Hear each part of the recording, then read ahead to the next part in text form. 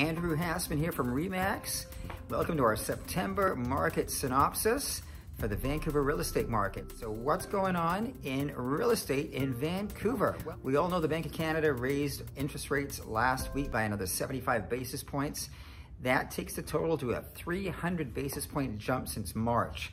So anyone sitting on a variable rate mortgage, having to renew their mortgages, uh, obviously there's going to be a substantial increase in the monthly mortgage payment that is going to be uh, endured by Canadians. Uh, this rate uh, increase is probably taking about 20% of the buying power away from anyone needing to qualify for a mortgage. The stress test is now approaching 7%.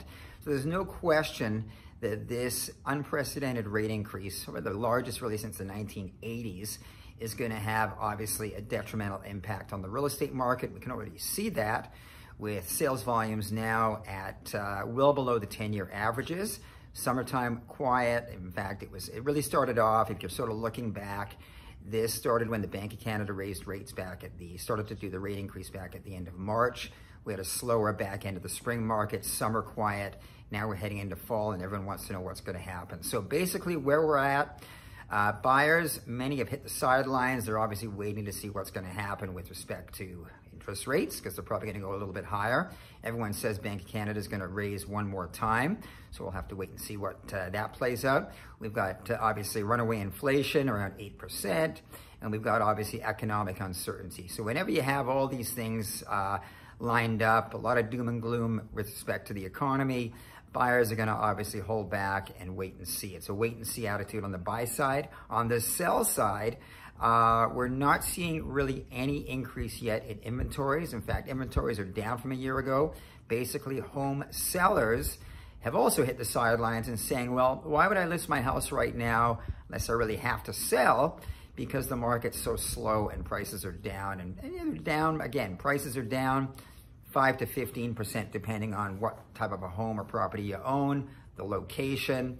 Uh, but prices are definitely coming off or have come off so far. So a lot of uncertainty. So you got the sellers on the sidelines, the buyers on the sidelines, and really you've got obviously sales volumes now well below 10-year averages. So for anyone looking to buy a home, this is a great time. Take your time, you can do your due diligence, you can make an offer, conditional on financing, inspection. There's probably very few buyers behind you breathing down your back, so you've got a chance to negotiate a good deal. Uh, on the sell side, if you're looking to sell a house, you need to have your home looking absolutely at its best. Doesn't matter if it's an old house, new house, anything in between. Make sure all your deferred maintenance is looked after. Make sure your garden looks great. The outside exterior appearance looks great.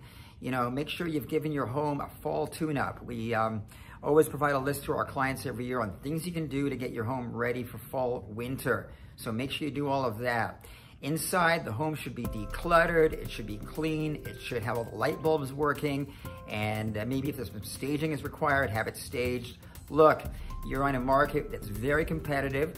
Homes are selling, but it's the ones that are priced correctly and show their best. Those are the homes that sell. If you're overpriced or the home's decluttered or it has bad odors, it's probably not gonna sell, and if it does, it's gonna sell at a big discount. So if you want the most money, you gotta make sure your home looks great, looks at its best. Hey, if anyone has any questions about the real estate market, Jill and I are always available to help. Reach out by email, text, give us a call. We're always available. Andrew and Jill Hasman from REMAX.